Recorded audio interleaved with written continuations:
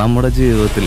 നമുക്ക് ഏറ്റവും കൂടുതൽ സന്തോഷം തരുന്ന കാര്യം അല്ലെങ്കിൽ സമാധാനം കിട്ടുന്ന കാര്യങ്ങൾ എന്താണോ അത് ചെയ്യുക അതാണ് ജീവിതം